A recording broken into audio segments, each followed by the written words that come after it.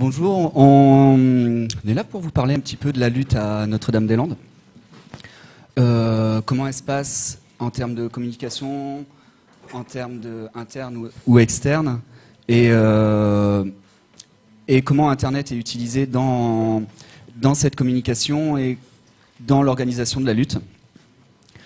Euh, vous avez, si vous trouvez le SSID Libertalia, c'est une petite pirate box où euh, dessus vous aurez tout un fond documentaire sur euh, la lutte de Notre-Dame-des-Landes, des vidéos, de la doc, un peu tout ça. Quoi. Donc n'hésitez pas à, pomper dessus. Et puis, je pense qu'on va se présenter d'abord rapidement. Et je vais passer la parole à Anne-Marie de l'association ASIPA.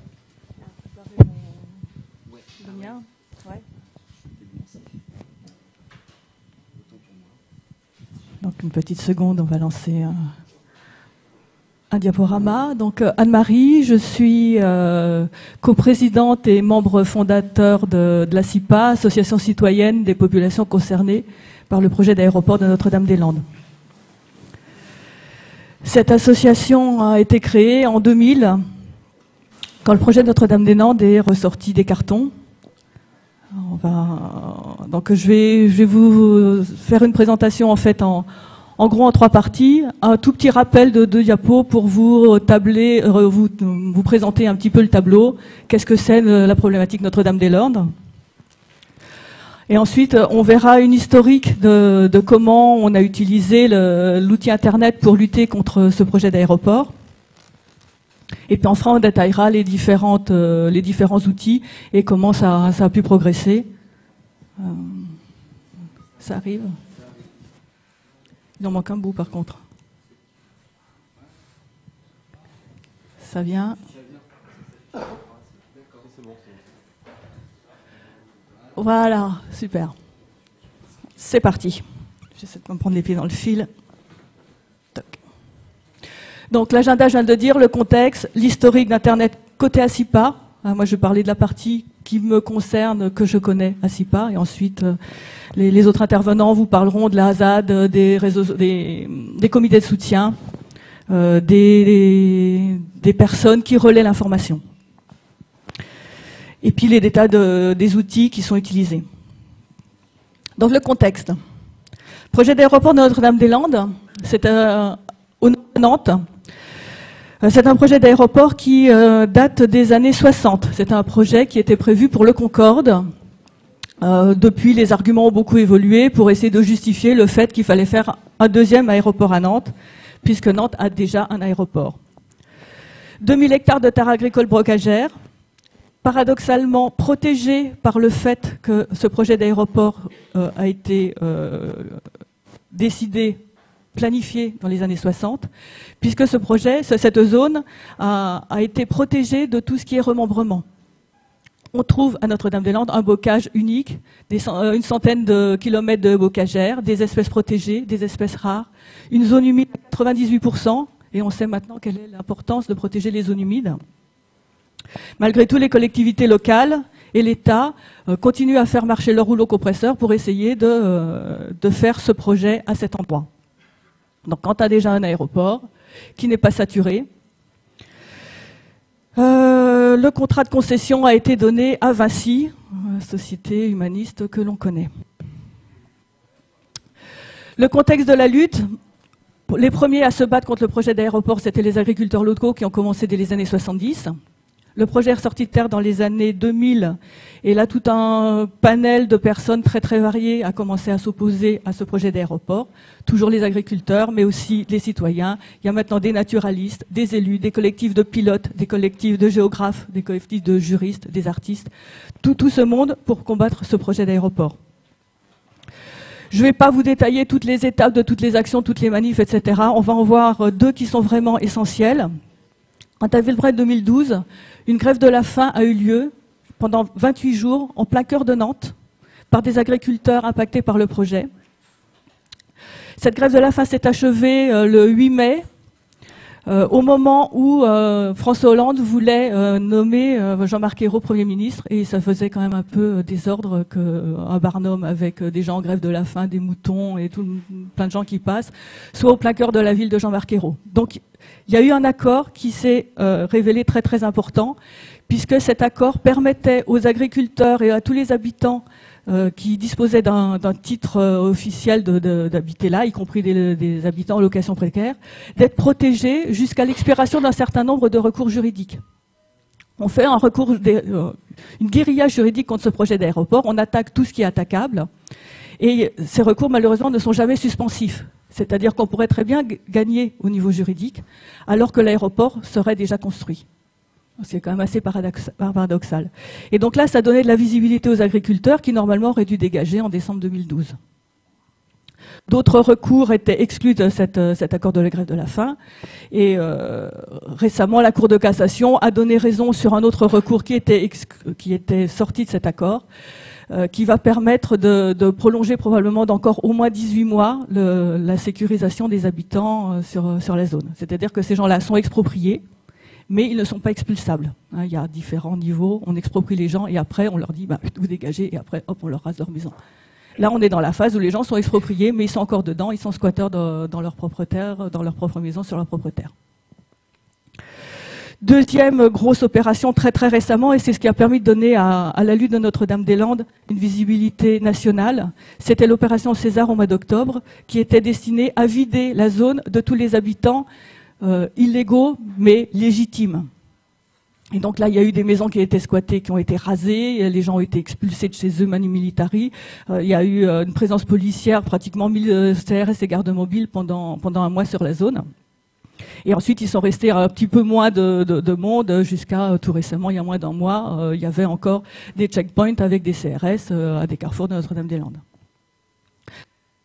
Cette opération, paradoxalement, s'est révélée boomerang puisque les, il y a une mobilisation nationale euh, de, toute la population, alors que le, les, autorités voulaient couper les zadis, c'est-à-dire les habitants de, euh, les habitants illégaux, encore une fois légitimes de la zone. Euh, du reste de la population. Et au contraire on a vu une cohésion de tout le monde. Les gens venaient euh, protéger les, ces habitants venaient apporter de la nourriture venaient apporter des vêtements. Il y avait des conditions météo épouvantables euh, s'il pleuvait tout le temps apporter des chaussettes sèches ce genre de choses. Et le 17 novembre une très très grande manifestation qui a regroupé 40 000 personnes sur Notre-Dame-des-Landes. L'opération Astérix puisque l'opération du préfet s'appelait l'opération César. C'est pas nous qui l'avons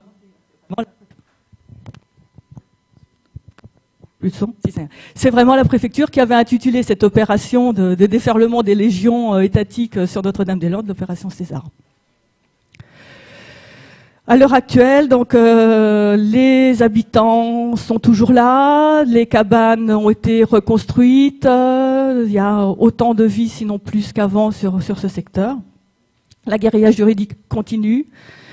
Elle est montée au niveau euh, du Parlement européen avec euh, une procédure EU e pilot qui a été euh, démarrée au niveau du Parlement européen et l'État français doit apporter des réponses à la commission des pétitions du Parlement européen et pour l'instant leurs réponses sont assez floues. Je passe sur tous les détails, commission de dialogue et tout le bazar. On est là plus pour, parler d'informatique, donc je vais attaquer sur le sujet réel de l'intervention. Au niveau historique Internet, côté ASIPA, ça commence un peu à dater. La a démarré en novembre 2000. Euh, tout de suite, travaillant dans l'informatique, même si j'étais absolument pas du tout dans, la partie euh, Internet, ça me semblait évident qu'il fallait qu'on ait un site Internet. Donc dès que l'association a été créée, alors qu'on était neuf personnes, un site Internet a été mis en ligne, avec un forum de discussion, avec une newsletter. En 2003, c'était le débat public. En ce moment, on parle beaucoup du débat public de, de Bure pour l'enfouissement des déchets nucléaires. À Notre-Dame-des-Landes, on a eu un des premiers débats publics sur le projet. Alors un débat public, c'est une sorte de, thérapie de groupe où vous allez expliquer à quel point vous êtes contre et après on vous explique à quel point vous avez tort d'être contre et euh, comme ça va être magnifique d'avoir ce projet d'aéroport. Donc on avait le choix, en gros on discutait du positionnement des pistes.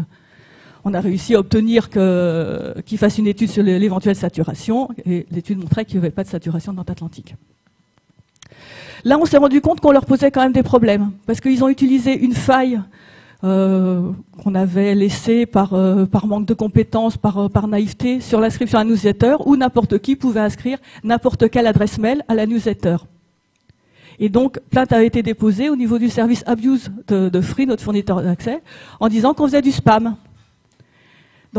Notre adresse mail de newsletter étant bloquée, on a recréé une autre adresse mail. C'était encore bloqué, on a recréé une autre adresse mail. Et au bout du compte, Free nous a envoyé un mail en disant bon ben attends, vous arrêtez vos conneries, on bloque tous les comptes. On pouvait plus envoyer de newsletter, on pouvait plus mettre à jour le site internet. Bon, ça s'est finalement bien passé puisque avec trois quarts d'heure de négociations avec ces gens-là, on a pu obtenir le déblocage de nos adresses. Mais bon, c'est vrai que le boulet est passé pas très loin quand même. On a eu très très peur à ce moment-là parce que s'il fallait communiquer, on pouvait plus. On a modifié la newsletter, on a réinscrit les gens, etc. Tout, s'est bien passé. En, 2004, on a fait une nouvelle organisation du site internet qui était un petit peu, euh, un peu simpliste. On a pu mettre une première pétition en ligne. Entre 2005 et 2009, bon, il y a eu des mises à jour régulières. Euh, on est passé avec une newsletter automatique. En 2010, on commence à, rentrer dans les réseaux sociaux, Facebook. Alors euh, moi, je ne sais pas pour les plus âgés d'entre vous, euh, Facebook, c'était mes enfants. Hein. Moi, j'y connaissais rien du tout. J'ai dû demander à mon fils qui m'explique comment ça marche. Je savais pas trop à quoi ça servait, tout ça. Tout le monde disait il faut faire une page Facebook, mais pas trop d'idées. On a créé une page Facebook et puis petit à petit, on a commencé à mettre des messages dessus.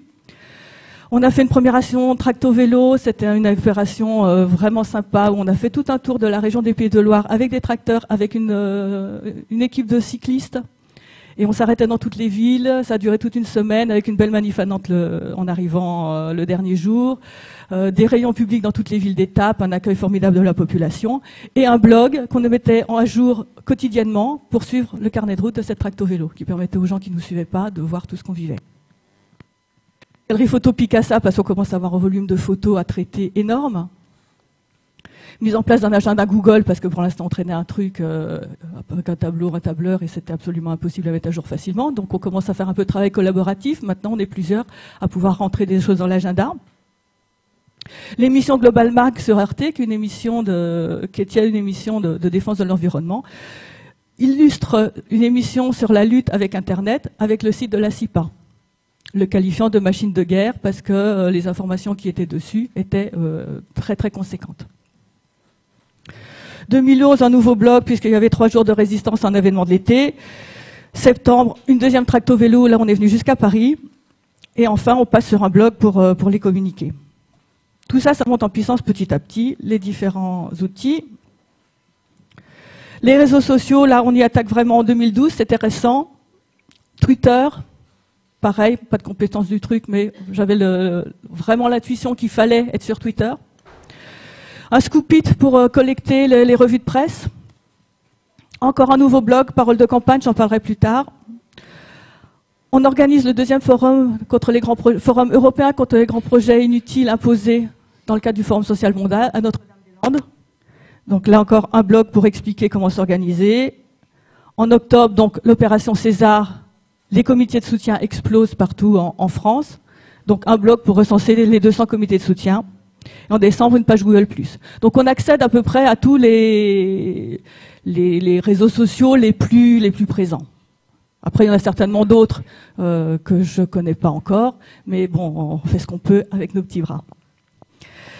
En 2013, tout récemment, le 11 mai, une grande chaîne humaine, 40 000 personnes, pour entourer les 25 km tout autour de la zone euh, du projet d'aéroport. Un site permet la mobilisation. Un site est en cours de mise en, route pour euh, notre prochain événement qui se tiendra les 3 et 4 août sur le site de Notre-Dame-des-Landes. Donc ça, il sera mis en ligne de façon incessante. Si ce n'est pas mis en ligne aujourd'hui, ça sera demain. Ah. Petite idée, la carte de tous les comités de soutien. Euh, pendant trois ans, quand on a commencé à faire des comités de soutien, il y en avait peut-être une dizaine tout autour de la région. Maintenant, il y en a absolument partout. Et ça, euh, Pierre en parlera tout à l'heure mieux que moi. Les outils, les stratégies. On démarre un site internet immédiatement. Il euh, faut quand même savoir que la culture internet des fondateurs de la CIPA était très très light. En gros, sur les neuf fondateurs, il devait y en avoir trois avec une adresse, une adresse email. Donc quand je leur ai dit, bon, on va créer un site internet, c'est quoi? L'objectif, c'est de collecter, d'informer les gens. C'est un projet que tout le monde doit prendre en considération et les gens doivent s'informer, savoir de quoi ils retournent. Les porteurs du projet ont des moyens de communication énormes, c'est les moyens de l'État. Euh, par contre, eux n'ont pas intérêt à ce que tous les éléments soient mis sur la table. Et c'est là que nous on intervient. C'est-à-dire que dès qu'on a des informations sur le projet d'aéroport, on essaie de les mettre en ligne pour que tout le monde puisse en prendre connaissance et se faire sa propre idée. Ça permet aussi une certaine visibilité de l'opposition au projet et ça permet de mettre en contact les gens qui ont envie de, nous rejoindre ou ne serait-ce que de s'informer. Ça a démarré gentiment. Donc le site a été mis en ligne en novembre 2000. En mai 2008, on avait péniblement atteint les 100 000 visites. C'est pas mal, mais bon, on peut mieux faire. En août 2011, on a passé les 200 000. Ça a commencé à s'accélérer. Là, aujourd'hui, on a plus de 530 000 visites. le fait que la lutte devienne nationale, le fait qu'il y ait tous les réseaux sociaux pour partager les informations, ont permis de donner à tout ça une grande visibilité. La lettre d'info est à plus de 3850 abonnés, sachant que plein de gens rediffusent l'information, et donc on n'a pas d'idée réelle de combien de personnes sont touchées par notre lettre d'info. Site Internet, il a un plus, c'est son contenu une capitalisation de toutes les infos depuis euh, le début de la lutte. C'est-à-dire qu'il y a des infos qui ont été récupérées, des articles de presse des années 70, un ouvrage des gages en aménage des années 70, qui a été entièrement numérisé, qui est mis en ligne puisqu'il est, euh, euh, plus disponible. C'est sans doute la base de données presse et documentaire la plus complète sur le projet d'aéroport. Il a aussi un moins. C'est un site qui a près de 10 ans, qui a été utilisé, créé avec des technologies qui sont maintenant complètement obsolètes. La mise à jour est lourde. C'est pas du tout un site collaboratif. La présentation euh, austère et démodée, c'est le minimum. Un jour, il y a quelqu'un sur Twitter qui m'a parlé de site moldave. ça m'a fait un petit peu. bon, j'ai rien contre les Moldaves. j'ai trouvé ça un peu sévère. Il faut quand même savoir qu'on est tous des bénévoles. On est assez peu nombreux finalement à maîtriser euh, cet outil euh, jusqu'à une période très très récente. Et on fait ce qu'on peut euh, sur notre temps libre. Mais bon, je caresse l'idée d'en faire quelque chose d'un petit peu plus sympathique.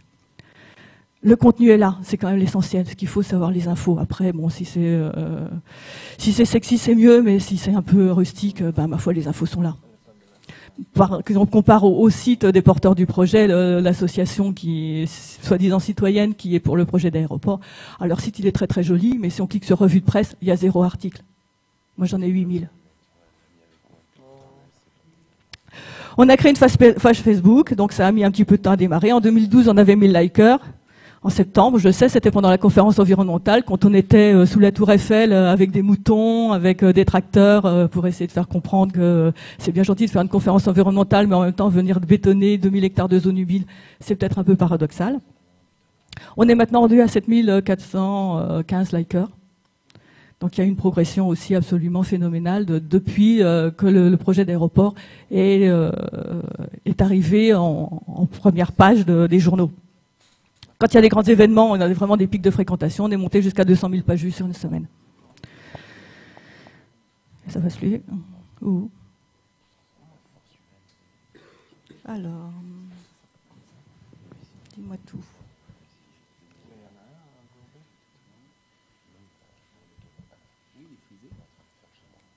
Ah, c'est encore les pro-aéroports qu'on fait. Il y en a dans la salle?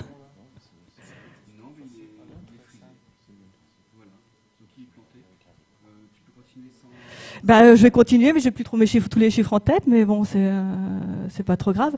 Euh, L'avantage de la page Facebook, c'est que ça permet de toucher des tas de gens. On reçoit énormément de messages privés par Facebook alors qu'on les recevrait pas par mail.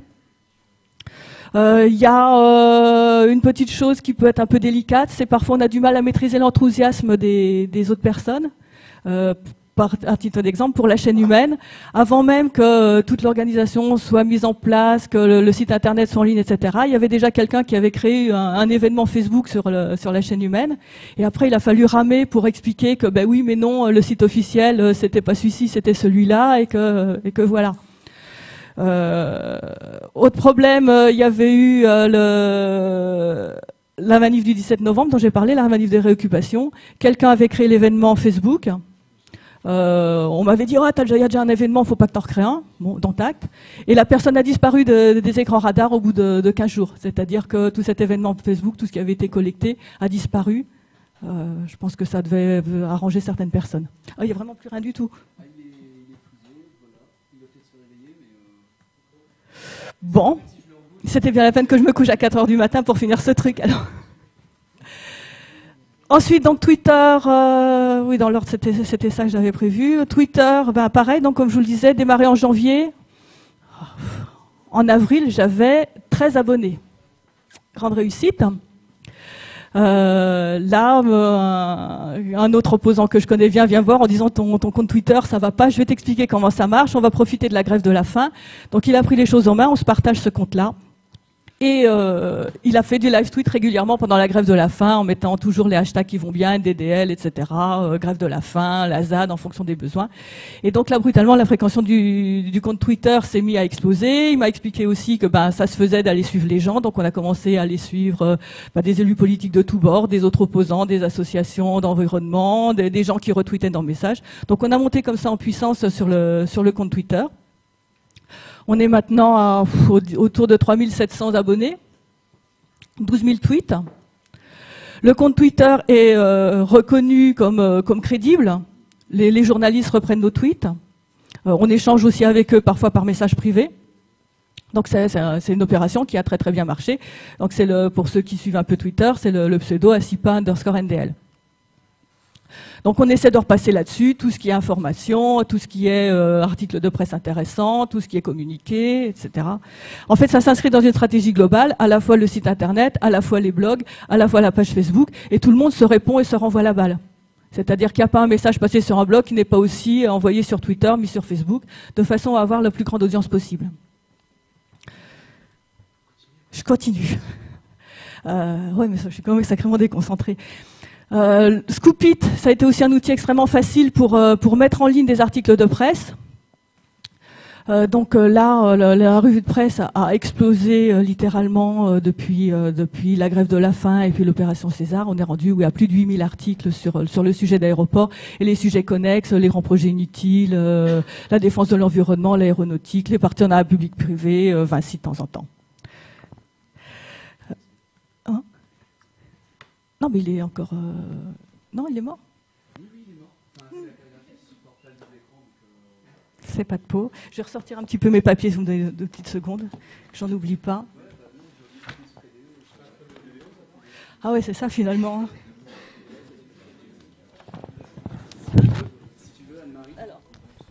Moi, j'ai presque fini de toute façon. Mais j'aurais bien voulu dire un mot quand même du blog Parole de campagne parce que c'est important. Euh, Parole de campagne, c'est un blog qui a démarré juste avant la grève de la faim. Et c'est un blog qui est alimenté par euh, des paysans expropriés, qui permettent de mettre de l'humain au cœur de cette lutte. C'est pas seulement une lutte de pouvoir, une lutte de défense de l'environnement, c'est aussi une lutte de défense des gens. Et euh, il est tenu essentiellement par Sylvie, qui est l'épouse d'un des grévistes de la faim. Et c'est des billets d'humeur. Donc pendant la grève de la faim, il y avait des, chroniques quotidiennes sur ce qui se passait, sur ce que vivait son mari, ce que vivaient les, enfants. Et ça a mis vraiment beaucoup, beaucoup d'humains sur, euh, cette lutte. Dernièrement, à partir du mois d'octobre, euh, pendant 30 euh, semaines, on a fait ce qu'on a appelé la vigie postale, c'est-à-dire que toutes les semaines, on écrivait une lettre au président de la République, des lettres très variées, des lettres très argumentées, qui l'informaient sur des points particuliers de la lutte que ce soit euh, la défense de l'environnement, la défense des agriculteurs, les zones humides, la répression euh, militaire au moment des expulsions, etc. Donc on a touché toute la gamme des, arguments et des, des, raisons pour lesquelles on s'opposait à ce projet d'aéroport. Donc ces lettres étaient mises en ligne, et puis on mettrait aussi en ligne les réponses, parce que les réponses, ça vaut 10. C'est typiquement, on a bien reçu votre courrier, on n'a pas le temps. À chaque fois, on demandait un rendez-vous. On n'a pas le temps on transmet à Cuvillier qui ne montrera pas, ministre des Transports, qui ne montrera pas de vous contacter, qui ne nous contactait jamais. Et voilà. Donc 30 lettres comme ça. On, on s'en fiche quoi. Euh, on a un peu beau déployer tous les arguments logiques, humains, etc. rien n'affiche. Euh, je dis pas qu'avant on avait des réponses à nos courriers. Hein. Alors là, pareil. Et ensuite, euh, je ne sais plus de quoi je voulais parler. Ah, exact, le nombre de bénévoles. Ouais. Alors, sur le site internet, la page Facebook, la revue presse Coupit, un bénévole. Sur Twitter, deux personnes sur la collecte de la revue de presse. Parce que la revue de presse sur Scoopit, c'est bien, mais c'est des liens. Et comme chacun sait, les liens, c'est pas pérenne. Nous, ce qu'on souhaite, c'est garder des traces de toute la lutte. On a des articles de papier des années 70, des années 60, quand le projet est sorti de terre. Euh, il faut garder ce qui se passe maintenant. Donc là, il y a trois personnes, en plus de, moi qui fais la consolidation de tout, qui récupèrent tous les liens, transforment ça en PDF, l'enregistrent, les, les renomment avec un code particulier pour qu'on puisse retrouver facilement. On n'a pas été jusqu'au point de mettre des mots-clés. On le regrette un peu maintenant parce que 8000 articles, on n'y arrivera jamais. C'est pas possible ça permet quand même, malgré tout, de rechercher un article. Ah, qu'est-ce qui s'est dit? Ah, il y avait quelqu'un qui, euh, parlait de, des partenariats publics-privés pour tel truc à tel moment.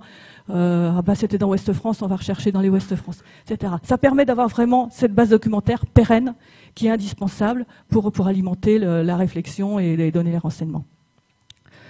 Euh, Qu'est-ce qu'il y a encore? Donc, les comités de soutien, ça va venir après. Donc j'ai dit euh, Facebook. Donc il y a la page Google il y a une personne aussi qui s'en occupe. Et, puis, puis l'agenda.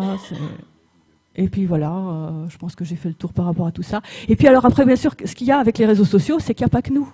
Il y a vous tous ceux qui sont là, qui retweetent nos messages, qui repartagent nos, articles sur Facebook, qui envoient des commentaires sur les, blogs, etc., et qui permettent, qui renvoient la lettre d'information et qui permettent de démultiplier complètement les informations qu'on peut bien passer et qui nous envoient aussi des informations. On peut pas être non plus à, à l'affût de tout, tout, tout, tout, tout. Régulièrement, je récupère des articles de presse parce qu'il y a des personnes qui les ont tweetés et ça me permet de les récupérer et de les ranger dans la revue de presse.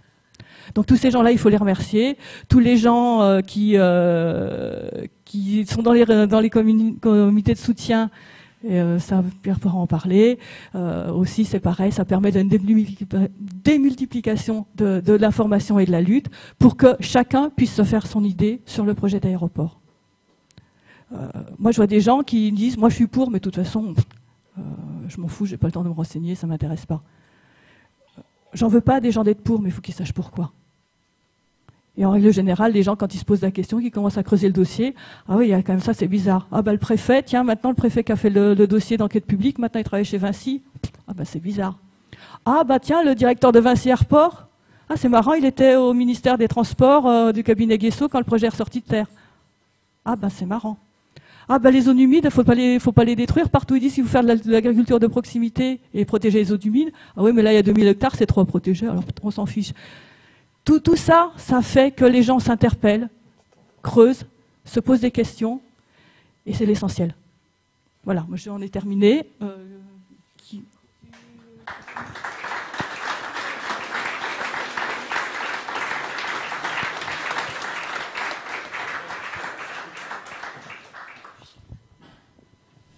Je vais passer la parole aux, potes de la ZAD, aux camarades de la, ZAD qui vont, euh, je pense, présenter Automédia.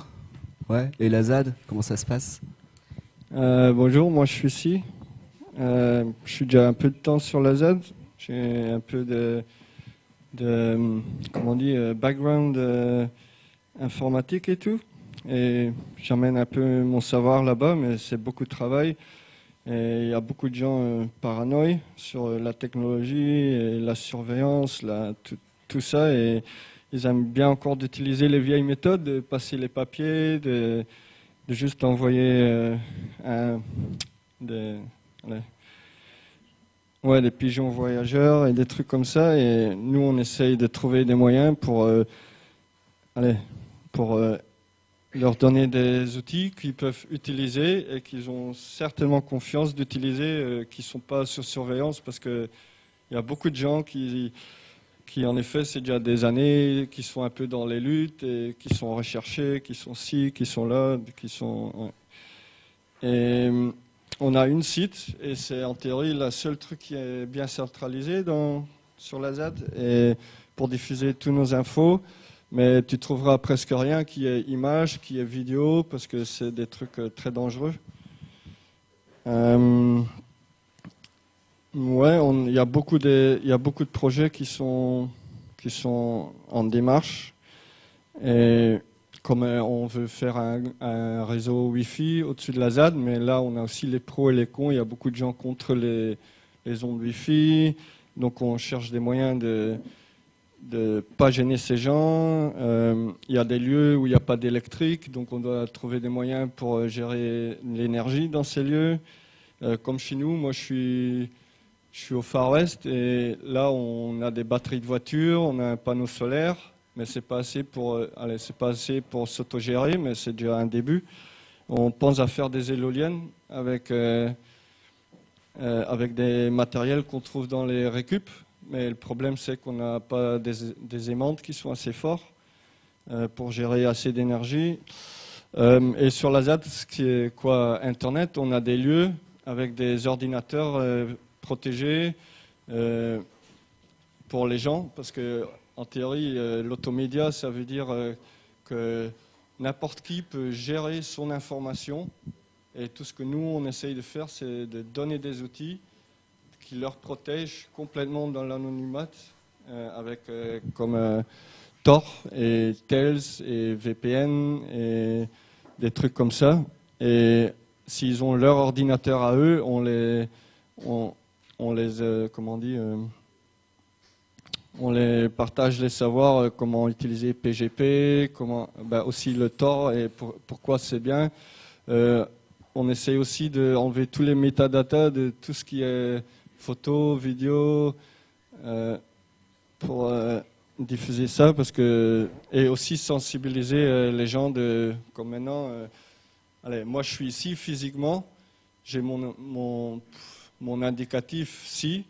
J'ai pas peur pour me présenter à vous physiquement, mais allez quelque part je veux pas que mon physique soit transporté tout partout sur l'internet parce que peut-être demain je suis ailleurs, je suis dans un autre pays, mais il n'y a personne qui me connaît, mais dès qu'ils voient une photo de moi, ils peuvent tout relier de ce, qui, allez, de ce, que, je, de ce que je suis. Donc euh, quelque part, euh, c'est ça. Et on a aussi commencé un hackerspace, et il s'appelle Funginet. Euh, et en théorie, c'est pour juste gérer une sorte de, de wiki pour partager tous les savoirs informatiques, mais aussi des savoirs, allez, de créer des outils pour euh, un peu peut-être automatiser euh, le jardinage, des, trucs comme ça.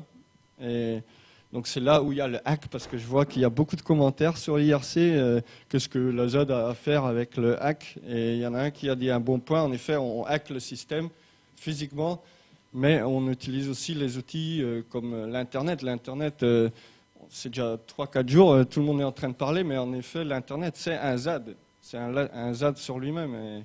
C'est une zone à défendre. Et, si on fait rien, ils vont, ils vont juste euh, euh, imposer tout, tout leur, tout leur contrôle, tout leur surveillance, tout ça. Et dans la ZAD, on peut expérimenter pour juste arrêter ça. En théorie, tout le monde, je pense, qu'il y a beaucoup des hackers qui font ça seuls. Ils, ils des méthodes, ils créent des logiciels pour euh, euh, éviter toute cette surveillance, mais euh, quelque part, tout seul, ça marche pas. Et la ZAD, à la ZAD, euh, tout marche un peu en collectif et tu peux juste aller, créer des idées comme la beauté à la ZAD, c'est qu'on ne pense jamais à la loi, on pense jamais, tu vois, on crée des trucs, des idées sans être attaché à, la légalité. Parce que c'est pas que c'est des trucs illégaux, mais c'est juste quelque chose, euh, on doit arrêter de penser ça. Et sur l'Internet, il y a beaucoup de trucs créés dans la légalité. Et, en théorie, c'est pas ça qu'il faut faire parce que là, tu joues leur jeu, tout ce qu'ils vont, parce qu'eux, ils ont l'argent, ils ont les outils.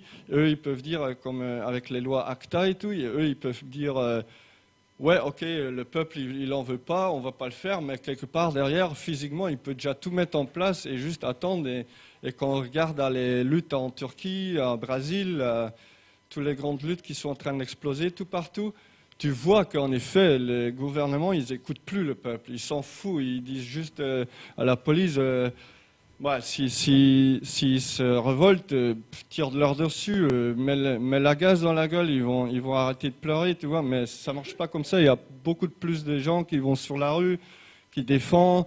Et en théorie, c'est là où les hackers, ils doivent venir. Allez, euh, comme en Turquie, c'est beau, il y a euh, Red Hat là, euh, qui, qui en effet fournit des méthodes à les gens normaux, comment se protéger l'anonymat et comment euh, et à aider à diffuser toutes ces informations avec leur réseau, avec leur euh, tout leur euh, tout ce qu'ils ont disponible. Et c'est trop beau, ça, c'est une belle truc où il y a des différents collectifs qui n'ont pas les mêmes idées, mais quelque part, ils partagent le même ennemi et ils essayent d'échanger les outils. Et en théorie, dans la ZAD, sur, ici à Notre-Dame-des-Landes, on doit faire la même chose. On doit essayer de euh, On ne doit pas aller faire un grand collectif, mais on doit trouver des moyens de lier euh, tous les collectifs et c'est là où il y a les hackers qui peuvent aider parce que eux ils ont la capacité de créer des, logiciels, des espaces, des, euh, protections pour garantir l'anonymat à des gens qui, sont prêts à, se mettre physiquement physiquement euh, dans la rue et, devant les, oppresseurs et les décideurs. Et, ouais, et, je suis un peu en train d'aller loin de la automédia, mais juste le fait euh, que, comme euh, ils ont prouvé, comme à Notre-Dame-des-Landes, on a quelques gens qui sont toujours euh, aussi présents physiquement, comme moi-même, euh, avec un caméra, juste pour, euh, parce que, pour filmer ce qui se passe, pas pour filmer le combat, mais pour juste filmer l'oppression, filmer ça. Et comme moi, l'autre fois, je me suis fait tirer avec un flashball parce que je suis en train de filmer. Et il n'y avait pas le média public, donc là, il, fait ce qu'il veut. S'il n'y a pas le grand média, ils font ce qu'ils veulent. Ils te tirent dessus, ils s'en foutent. Si toi, tu as les images, ils savent que toi, tu vas pas aller avec tes images à France 3 ou à, tu vois, on va juste mettre les images dans, dans des, dans des réseaux sociaux comme euh, Twitter. Là, là, ça marche encore un peu. Euh, il y a Facebook, mais personnellement, euh, tu vas me jamais trouver sur Facebook. Euh, mais l'automédia à la ZAD marche trop bien parce que, en théorie, il y a une personne qui diffuse son information à son réseau, mais dans cet réseau, il y a plein de gens qui sont en connexion avec des autres réseaux et en, quelques minutes, euh, ça disperse. euh, il y a l'information qui ne va pas dans les, médias commerciaux, mais qui, quand même, ils arrivent à les gens, euh, comme sur Twitter, Facebook, tous ces réseaux sociaux qui, en effet, sont une grande risque sécurité, sécurité pour juste les gens qui se mettent physiquement euh, ouais, devant, devant les oppresseurs. Et mais comme moi, je, veux bien inviter euh, n'importe qui de venir euh, à la euh, et, de juste créer, aller aider à penser ou juste une idée, aider à, avec des fournir. Parce que la ZAD, c'est aussi beau pour, pour créer un espace physique connecté à l'Internet, mais pas gouverné par le gouvernement et gouverné par les gens. Et, nous, on veut aller quelque part là-bas, être notre propre ISP, être notre propre fournisseur à ISP, accès à Internet, euh, et euh, gérer notre propre, tout, tout, ce qui, tout ce qui doit être géré euh, à nous-mêmes. Et un peu ça.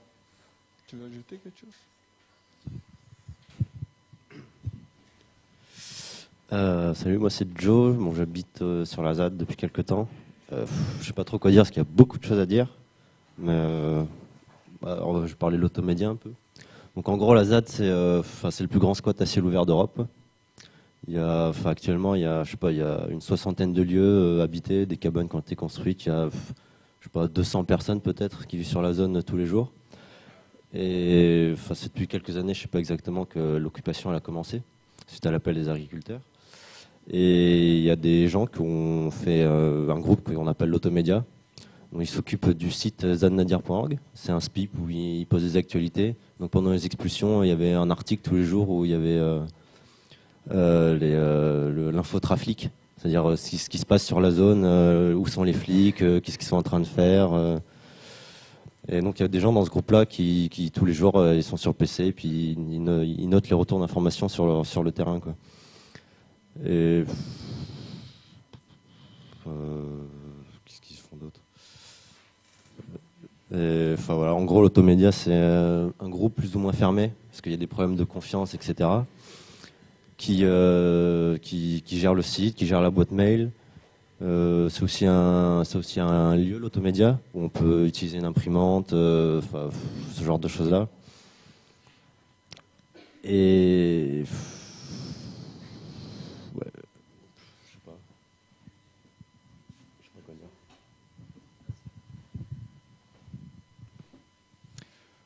je peux vous présenter maintenant, si vous voulez, les comités de soutien, ou vous parler encore un petit peu euh, d'Automédia euh, rapidement. Si j'ai pas pu mettre zad.nadir.org sur la Pirate Box, j'avais une clé trop petite, mais par contre, toute la revue de presse d'ACIPA qui est présente sur leur site, vous le retrouverez également sur la Pirate Box. Dans... Il y a une archive euh, pour ça. Voilà, il y a quelques outils aussi utilisés par par Automédia. Je ne sais pas trop comment ils tournent. C'est les crabgrass de, de RiseUp. Ouais. Bah, euh, ouais, ce qu'on fait aussi euh, avec le groupe OT c'est mettre les gens euh, sur des réseaux sociaux alternatifs comme RiseUp. Parce que RiseUp a déjà bien prouvé d'être sécure et de ne pas donner des informations quand leurs serveurs sont saisis. ils refusent à donner n'importe ce qu'il y a dessus. Bah, il y a Rise Up, ouais, il y a que. Et euh, Rise Up a mis en place euh, l'outil Crabgrass, qui, est, qui a l'air mais super intéressant. Et j'attends d'être dans un groupe bien vivant pour voir euh, la dynamique de l'outil. C'est un outil collaboratif permettant de gérer un wiki, un système de messagerie, de, gestion de groupe et, tout ça. Et ça a l'air très très intéressant. Voilà. moi, je vous donc je, m'appelle Pierre, vous me connaissez sur Internet sous le pseudo Ban. Euh, je vais euh, vous parler un petit peu de ce qu'on a fait à la fois sur Internet et dans les comités de soutien.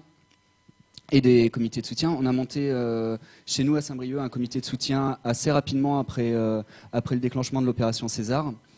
il a été créé à l'appel de citoyens. Le mot citoyen pose problème parfois, mais c'est assez compliqué dans le milieu radical. Euh, et il réunit à la fois euh, des, citoyens et des organisations politiques et des associations. Euh, ça va d'Europe Écologie à, pour les organisations politiques, Europe Écologie, Sud Solidaire, comme, comme syndicat, la Confédération Paysanne, la FASE, le Front de Gauche et pas mal de monde. c'est assez dur à organiser quand nous, on est arrivé avec nos outils d'Internet, donc on a monté un blog, on a mis en place une mailing list, on est arrivé avec nos habitudes d'autogestion aussi, pas la même autogestion que la ZAD, mais une, auto, une autogestion qu'on appelle démocratie fluide ou euh, organisation horizontale euh, euh, ou doocratie. Donc nous, on est arrivé avec ça en tête en tant que militants, activistes, machin, et on est allé faire de l'activisme sans le H, le, le, truc chiant dans la rue, quoi. Et c'est très difficile pour des gens de, faire passer nos méthodes de mailing list, de pad, de ces méthodes très, très horizontales dans, le milieu du militantisme euh, euh, plus classique, et en particulier dans les organisations politiques. C'est le, gros enjeu que les décisions soient, puissent être autant prises sur la mailing list qu'en réunion. Si on peut éviter d'aller en réunion, nous, ça nous arrange. Donc c'est assez difficile à monter de, ce genre de dynamique pour euh, amener un public qui n'a pas l'habitude de l'outil informatique à l'utiliser. Et les formations GPG, qui sont euh, une, nécessité, euh, enfin quelque chose d'indispensable pour moi dans, le milieu militant, c'est très difficile également de les mettre en place et d'expliquer la, ne serait-ce qu'expliquer l'intérêt de le faire jusqu'à euh, faire avoir une personne qui l'utilise réellement au quotidien donc ça, c'est notre partie euh, in real life euh, dans notre petite ville euh, de Saint-Brieuc. ce qu'on fait également, c'est comme on est présent sur Internet, c'est que toutes nos actions, on les remet sur Internet. Donc on prend les photos, on, essaye de, faire buzzer dessus à chaque fois et donner l'impression qu'on est très très très nombreux, alors qu'on n'est pas toujours très très très nombreux. Parallèlement à ça et à notre action chez nous à, Saint-Brieuc avec le comité, on vient aussi des internets. On vient en paix déjà, mais on vient des internets. Et euh, on a essayé d'utiliser nos outils collaboratifs pour à la fois pour diffuser l'information, mais pour permettre l'engagement de militants. C'est-à-dire, c'est un cap à passer, aller se rendre sur place, aller sur la ZAD, parce que ça te transforme mais pardon, ça te, ça te transforme d'aller sur, euh, sur la ZAD. Mais il y a plein de petits gestes qui vont euh, du like euh, sur Facebook, qui est le, point zéro de l'engagement politique, à bah, quand on met en place un pad pour les covoiturages, on voit les gens qui commencent à s'impliquer et on les revoit toujours plus tard, des mois après, à s'impliquer à d'autres niveaux sur la lutte. donc on a utilisé énormément les pads pour, tout ce qui est information collaborative, comme ça mettre en place les, des covoiturages, faire les listes des besoins qu'il y avait sur la ZAD. Et également, on avait monté un petit groupe euh, avec les copains de, des copains de rébellion.info autour d'une revue de presse collaborative où on utilisait, euh, toujours du SPIP d'ailleurs, vu qu'on utilisait l'outil euh, Sindis qui, qui, est, sort. Enfin, qui est génial pour linker des articles et en plus il te, sort un RSS donc on, le traite après comme on veut quoi. Voilà à peu près notre action sur Internet. C'est diffuser l'information également euh, au maximum. Euh, essayer de démonter les arguments des pro-aéroports pour pouvoir argumenter face à eux. Les troller aussi euh, au maximum. Et, et puis j'avais un autre point important à dire sur, sur Internet. Oui, c'est également de faire de la recherche documentaire. Euh, avec des outils que euh, Asipa n'a pas forcément. Des trucs tout cons, mais euh, chercher un Wiz pour savoir qui est derrière un site internet, regarder quels sont les autres sites hébergés sur le serveur, ça permet des fois de faire des liens assez, assez marrants et puis faire de la, de la recherche de base. Quand on voit que le, le vice-président de, de Vinci est aussi propriétaire d'une boîte qui fait les amorces de, de lacrymo, c'est toujours marrant de voir un mec qui bouffe à tous les râteliers comme ça, quoi. Et euh, c'est des choses qui sont toujours marrantes à, pouvoir euh, dire publiquement et en plus sourcer et argumenter. Voilà, c'est nos. Et puis des fois, on, est essaye de faire un peu de buzz avec euh, parce qu'on a la chance de connaître quelques journalistes qui nous écoutent et quand ça peut, quand on peut s'en servir pour faire notre notre agite propre, on n'hésite pas, quoi. Voilà. Voilà, je pense. ouais, on va parler à un autre je vais passer le micro à un autre activiste. Oui, bah, du coup, je donne rapidement mon point de vue. Moi, je suis pas du tout rentré là-dedans euh, par la lutte contre l'aéroport, en fait. Euh, moi, j'avais appris l'existence de la ZAD, euh, je sais pas comment. J'habitais à Nantes à l'époque. Et en fait, ce qui m'a fait rentrer dans tout ça, c'est plus le côté positif. Pas le côté lutte contre quelque chose, mais le côté constructif qu'il y a à la ZAD, où justement, c'est un lieu d'expérimentation Vraiment, totalement, bah, c'est vraiment libre, quoi. Et comme c'est un lieu qui est complètement décentralisé aussi, au niveau de l'organisation, il n'y a pas quelqu'un qui décide pour les autres. Euh, au niveau euh, faire l'expérimentation, bon, que ce soit euh, plantation et compagnie, moi j'y connais absolument rien, mais je trouve ça super intéressant. Et puis derrière, bah, comme l'a dit ici, il y, y, a des projets sur le Wi-Fi, etc. Et euh, si vous regardez sur OpenStreetMap, moi je me suis amusé, j'ai passé deux trois après-midi là-bas avec mon GPS et mon PC. Et euh, donc si vous regardez, si vous cherchez Far West sur OSM, Far F-A-R, et West West comme en français, euh, vous allez avoir une réponse sur OSM, c'est le Far West de la ZAD, donc qui est euh, un des lieux d'habitation, une des cabanes de la ZAD, donc que j'ai mappé, je ne sais plus exactement quand. Donc ça fait partie finalement un peu de la lutte, puisque c'est une façon d'affirmer que l'endroit, le Far West, il y a le Sabot, il y a d'autres squats, que ces endroits-là sont des lieux où il y a des gens qui habitent, que même si euh, ce n'est pas des maisons qui font partie d'une commune qui est enregistrée euh, par l'État, donc par l'autorité centrale, euh, finalement le fait de les mettre sur une map, sachant que des gens y habitent depuis deux ans pour certains lieux, c'est une façon d'affirmer que ces endroits existent avec des gens qui y sont, qui les occupent et qui font des choses. Donc voilà, en ce qui me concerne, c'est l'approche que j'ai eue par rapport à celui-là. C'est tout. Est-ce que vous avez des questions?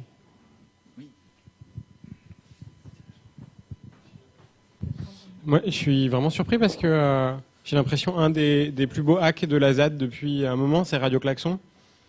Et euh, vous en avez pas parlé, alors euh, ça me rend fou, quoi.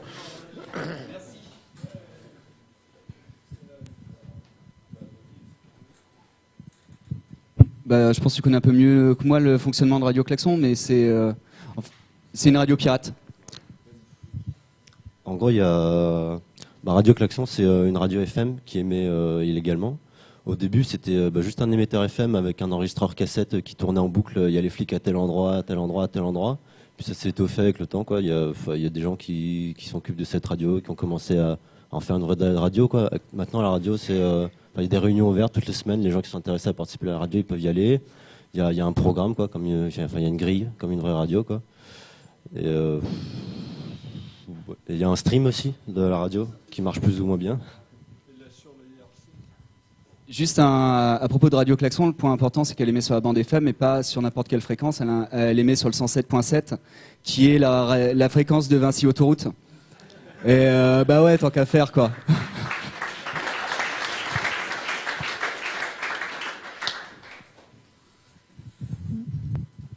Et on essaye aussi pour euh, la communication, parce que c'est une zone de 2000, euh, 2000 hectares. En plein combat, on est coupé des fois de zones de, différentes zones. Et on essaye aussi de mettre en route de- bah, des systèmes d'avant comme euh, le CB, les walkie-talkie, des trucs comme ça, pour euh, quand même euh, avoir une communication euh, constante entre tous les lieux, tout ce qui se passe et et de centraliser après cette information à Radio Klaxon hein, qui diffuse euh, entre 5 et 10 km en radius. Et je sais pas, euh, on a aussi eu quelques supports de, des groupes hackers, je vais pas les nommer, mais euh, parfois ils nous filent des informations que en théorie tu peux pas avoir publiquement ou tu, tu vois et c'est des, des petites informations et une des les trucs qui s'est passé, c'est euh, qu'on a réussi à recevoir euh, tout le mailing list de, Jean-Marc Hérault euh, de son site. il avait un petit bug et il y a des gens qui nous ont fourni des milliers d'adresses mail et c'est bah, c'est quand même bien. J'aime bien ça. s'il y a des questions, vas-y. On est aussi en train de garder sur IRC, donc s'il y a des questions sur IRC, vas-y. hein. Bonjour, moi je m'appelle euh, Vincent, donc je suis riverain de la ZAD. Donc avec ma famille, on habite à, moins de 2 km en fait de, tout ce joli bazar d'État. Et, euh, et donc en fait, on s'est rendu compte que euh, par rapport à ce qui sortait dans les médias au niveau des, retranscriptions de ce qui se passait vraiment sur le terrain, il y avait un gros décalage. Donc avec un collectif de Strasbourg, on a décidé de créer une page Facebook, un groupe Facebook qui s'appelle Non à l'aéroport à Notre-Dame-des-Landes. Donc au- aujourd'hui, on est suivi par plus de, de 10 000, presque 11 000 personnes, qui est autant que la page de Jean-Marc Ayrault. À- allez, on va dire à une soixantaine euh, de likers près. Donc je vous invite à liker cette, page. Il faut vraiment faire attention parce qu'il y a une tentative de récupération par l'extrême droite euh, de cette lutte, qui a monté une page qui s'appelle Contre l'aéroport et donc qui est managée par euh, un- une sorte de despote euh, autocratique qui s'est autoproclamé euh, roi du contre l'aéroport et en fait euh, qui rediffuse pas forcément des, informations objectives et à propos sur, sur la. Donc nous, nous, pour contrer ça, en fait, donc on a monté cette page avec un collectif de Strasbourg, donc c'est assez éloigné. Il se trouve qu'à chaque fois qu'on entend des bruits de grenades donc dans notre jardin, puisqu'on est vraiment donc on, retransmettait l'inform- l'information sur cette page et puis euh, derrière les, les, médias euh, traditionnels bah, relataient l'information avec euh, allez, 6 plus 6 heures plus 8 heures. Quoi. Donc ils avaient temps de, de vider la ZAD, de tuer tout le monde, qu'en fait personne n'aurait été au courant. Quoi. Donc nous on s'est posté là-dessus. Il existe aussi une page ASIPA Google+, donc on essaye d'être présent un petit peu partout. Je sais qu'il y a des groupes sur Changebook. Il y en a un petit peu partout. Donc euh, je pense que si on reprend le total de toutes les personnes qui sont mobilisées sur, euh, sur, ces, pages, on arrive à un chiffre, on dépasse les 100 000. Euh, personnes qui sont contre ce projet d'aéroport. Donc je vous invite à, continuer et puis à partager ces pages, s'il vous plaît.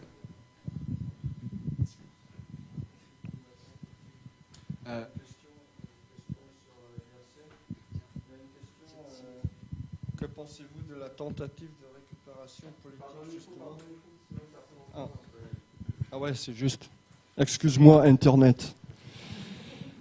Euh, euh, il y a une question. euh, que pensez-vous de la tentative de récupération politique, justement? Ben, Moi, je ne suis pas vraiment français, je ne comprends pas vraiment la question. Peut-être. euh, Ben, en fait, de récupération politique, on n'en veut pas forcément.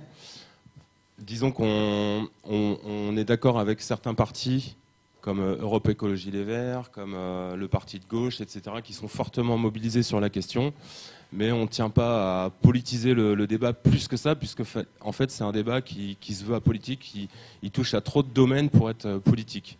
Il y, a un, volet social, il y a un volet foncier, il y a un volet occupation, il y a un volet préemption. Enfin, c'est, le scope est vraiment trop large pour politiser ce, ce débat-là. En fait, c'est un débat citoyen. Et euh, pour l'intérêt général, il faudrait qu'il reste dans le domaine citoyen, ce qui n'est pas le cas, puisqu'en fait, la plupart des porteurs de projets euh, ont des entreprises, euh, ils font passer le message entre, personnes, morales privées. Donc voilà, d'où l'intérêt général est, lamentablement en fait étouffé dans tout ça. Moi, j'aurais quand même ajouté une chose, c'est que contre le projet d'aéroport, il y a une coordination d'associations, groupements et partis politiques dont fait, partie euh, la CIPA. Euh, cette, euh, cette coordination est, très active. Ça comprend des gens aussi différents que le NPA ou le MoDem. En fait, on touche tout le spectre politique. Et c'est des gens des militants de terrain et qui sont là, et les gens du MoDem qui étudient des dossiers, et les gens du MTA qui sont là pour les mobilisations, qui argumentent sur leur site, etc. Donc en fait, les partis qui n'y sont pas, c'est le FN, c'est le PS, c'est une partie du Parti communiste et l'UMP.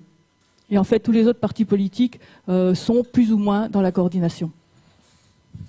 Ce qui- ce qu'il faut comprendre euh, avec Notre-Dame-des-Landes, c'est que euh, c'est une lutte. C'est pas du tout un mouvement comme euh, comme certains pensent l'appeler. La seule unité, c'est la lutte en fait, et c'est l'opposition face au projet d'aéroport. Donc ça crée un front d'opposition à l'aéroport qui réunit énormément de monde et des gens qui ne se seraient jamais parlé avant quoi, mais qui seraient vraiment jamais parlé ou qui même se considèrent comme des adversaires ou des ennemis politiques. Et quand on arrive dedans et qu'on n'a pas l'habitude de, ce militantisme et de ce militantisme et de ce mode d'organisation, c'est euh, ah, on le prend, en- on le prend vraiment en pleine gueule et euh, c'est assez c'est assez difficile de s'adapter à ce mode de fonctionnement. Nous, on avait mis une règle euh, assez simple pour le comité euh, qu'on a monté, c'est que les organisations politiques, si vous voulez votre logo sur les tracts et votre nom et tout ça, bah vous payez quoi. C'est vous qui payez les tracts. Et essayez de fonctionner comme on fait sur quand c'est sponsorisé sur un événement, on met le, le logo sur la communication et et euh, en échange de thunes. Euh, c'est comme ça qu'on aimerait fonctionner. C'est pas facile du tout. Euh, pour faire cracher l'argent, c'est jamais très facile. Par contre, tout ce qui est organisation, même, des entreprises qui viennent aider la ZAD, Coref, typiquement Coref, brasseur, brasseur de bière en, en Bretagne. Ça a été des litres et des litres et des litres de bière brassés pour contre le projet d'aéroport. J'ai oublié de vous en amener. Honte sur moi, mais vraiment euh, honte sur moi. Euh, nous, à Saint-Brieuc, ça nous a permis de faire, un chèque de 15 000 euros à SIPA, uniquement sur la vente de bière. Donc, bien évidemment, on part pas en vacances avec l'argent qui nous est euh, versé par les opérations de, de soutien. On diffuse de la documentation, on diffuse euh, des tracts. Certains tracts sont diffusés à des, des centaines de milliers d'exemplaires, des fascicules d'argumentaire. Il y a des actions juridiques qui coûtent de l'argent. Donc, tout l'argent qui est collecté va à la lutte. Hein, C'est très très important de le dire. On n'a aucune subvention, on ne vit que des cotisations de nos adhérents, des dons et ce genre d'opération. Il y a eu la Coref, il y a la brasserie du Bouffet, qui est une brasserie artisanale à Nantes, qui euh, a pris le relais sur, euh, sur un autre type de bière. Il y a euh, un comité de soutien de l'Allier qui nous a fait du vin bio. Il y a un groupement d'éditeurs et de dessinateurs de BD qui ont édité une BD Détachez vos ceintures aux éditions du Kist pour, euh, pour euh, aussi populariser la lutte. Et, ensuite, tout, tout ça, ça permet de, de, de vivre, de diffuser l'info et de, combattre juridiquement le projet.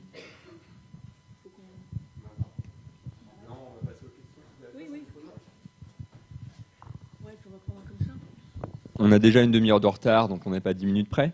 Euh, on va passer aux questions. On essaie de faire relativement assez vite pour ne pas prendre une heure de retard, même si c'est pas trop grave ces derniers jours. Et apparemment, il y a une main, donc je pense que tu avais une question. Voilà.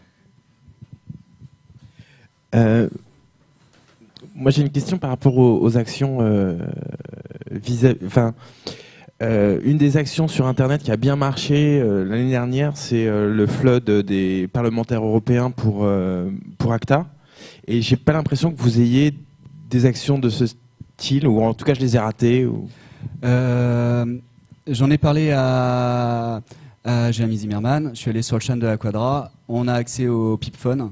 Et bah, dès qu'on trouve le temps de coordonner ça avec ASIPA, on lance une bonne grosse campagne de flood.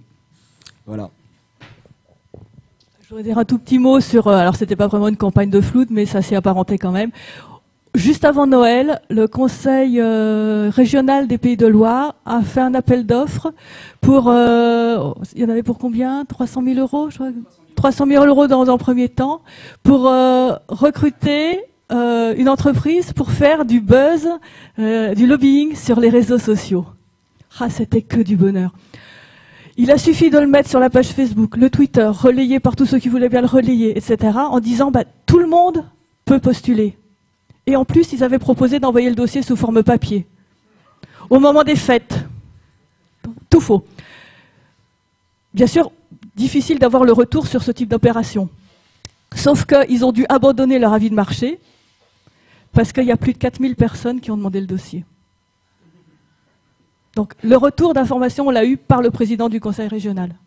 Et vraiment, on était, euh, on n'en espérait pas tant. Donc merci s'il y en a dans la salle qui ont participé. Euh, vraiment, on s'est régalé. Quand il y a des zadistes qui se font arrêter, qui sont à la gendarmerie de, dans le coin, de Blain par exemple, il y a des coups de téléphone pour demander la libération des camarades, le grand, classique, mais qui viennent de toute la France. Euh, voilà, c'est une via Internet, il y a une solidarité vraiment assez impressionnante quoi, qui s'est montée et je kiffe quoi.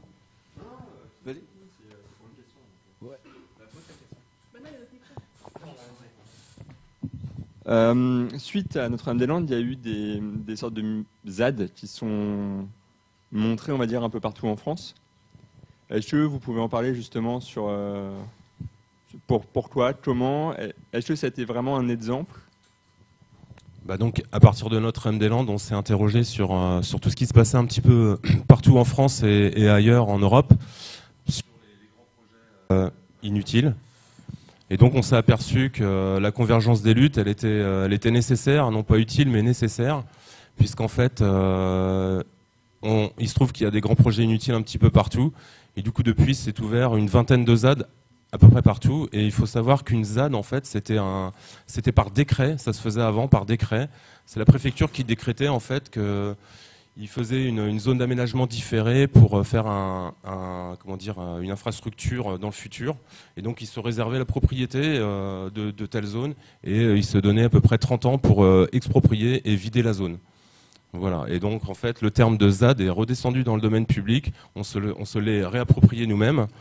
Et finalement, euh, bah, la ZAD de Notre-Dame-des-Landes a fait beaucoup de petits, parce qu'aujourd'hui, il y en a plus de 20 euh, à travers la France. Il faut savoir aussi que la presse nous a quand même vachement aidé à, traiter le sujet de Notre-Dame-des-Landes dans le registre du fait divers, alors que ce n'est pas un fait divers du tout, c'est un fait de société.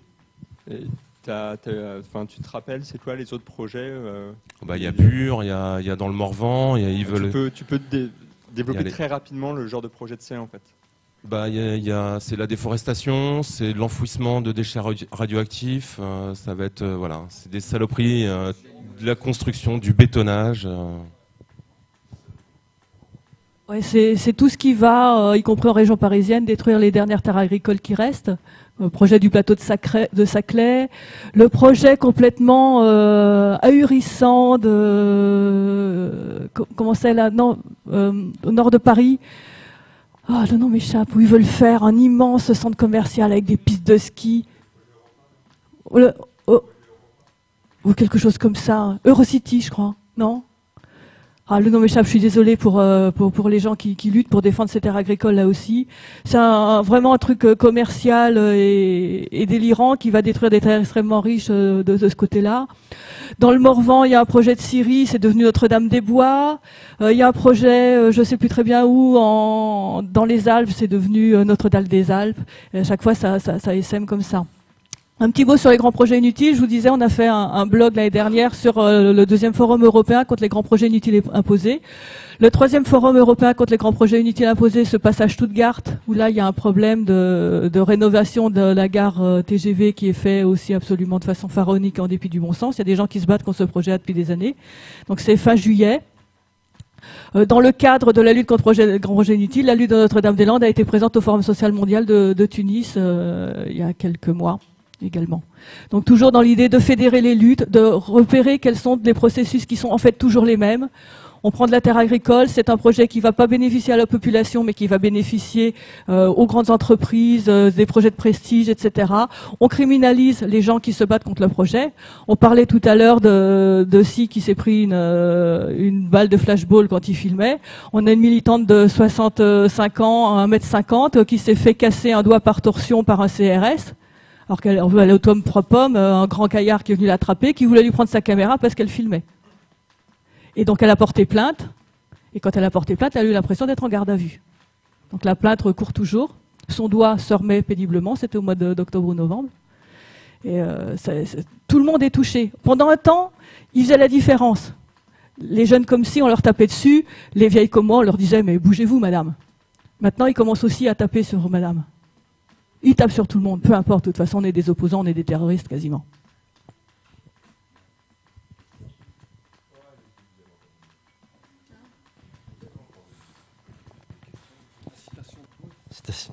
Je voulais dire un truc important aussi. Euh, moi, si je suis venu ici, c'est parce qu'en fait, enfin, on a parlé de l'automédia, mais on n'a pas parlé, euh, enfin, par exemple, de nous ce qu'on a fait vraiment, parce que, enfin, on a un background de, de geek, de hacker, puis on est arrivé sur la zone, quoi et on s'est pas inséré dans le groupe de l'automédia quoi. Enfin du fait du système d'organisation, tout ça, ça nous plaisait pas.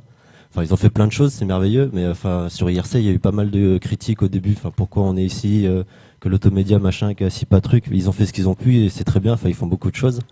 Et moi, enfin j'ai envie de m'adresser à vous, aux gens sur internet, enfin aux hackers quoi.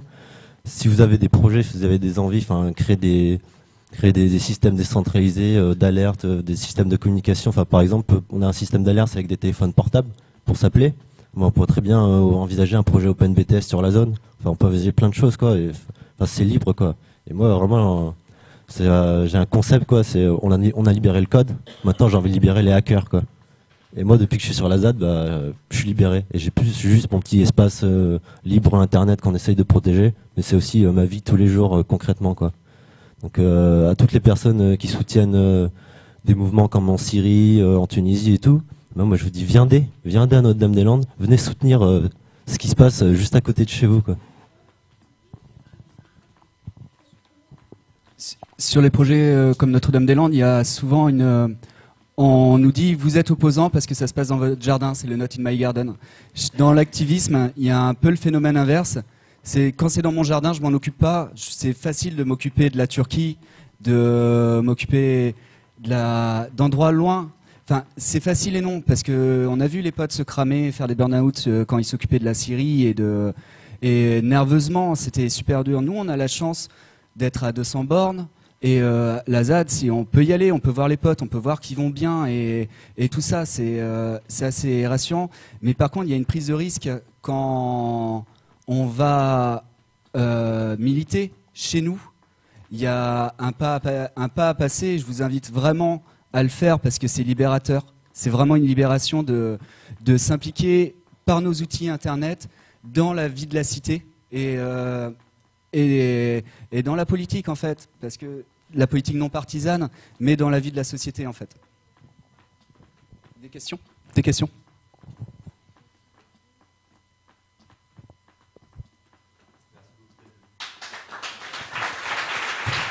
Ah si Mais un, petit mot, on a des, nous aussi des stickers, des badges à, vendre. de la doc également. Et euh, bah, si vous voulez pas venir à Notre-Dame-des-Landes, vous pouvez soutenir la lutte euh, en achetant ça. Ils sont à prix libre. Vous mettez autant que vous voulez et que vous pouvez. Merci.